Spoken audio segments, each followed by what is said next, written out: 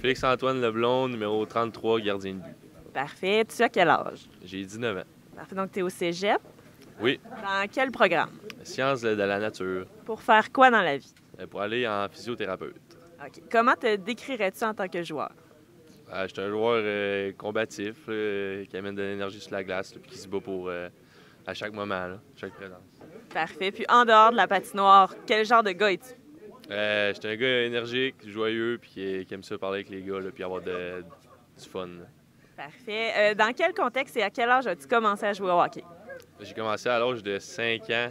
Euh, j'ai mis les patins à la patinoire extérieure avec mon père, juste pour s'amuser puis pour le fun.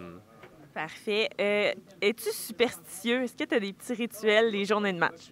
Ben, avant un match, je je commence tout le temps à attacher mon patin droit, puis à mettre mes genouillères du côté droit. Dans le fond, je commence tout le temps du côté droit, là, euh, à m'habiller, puis après ça, je fais le côté gauche. Sinon, ça va mal? Ça. sinon ça va mal. Il faut tout le temps que ça soit du côté, du côté droit avant le côté gauche. Parfait. Euh, dans la vie de tous les jours, qui est ton idole? Euh, c'est Carey Price. Un gardien de but aussi. Ouais, gardien de but aussi. Est-ce que tu as déjà joué à d'autres positions? Euh, j'ai déjà joué à l'avant comme ailier là, pour. j'ai commencé là dans le mag, puis encore à ce moment, je joue des fois là, dans une ligue de garage euh, pour le fun, là, pour m'amuser. Parfait. Puis, euh, quelle est ton équipe préférée et pourquoi? Euh, c'est les Capitals de Washington. Et pourquoi?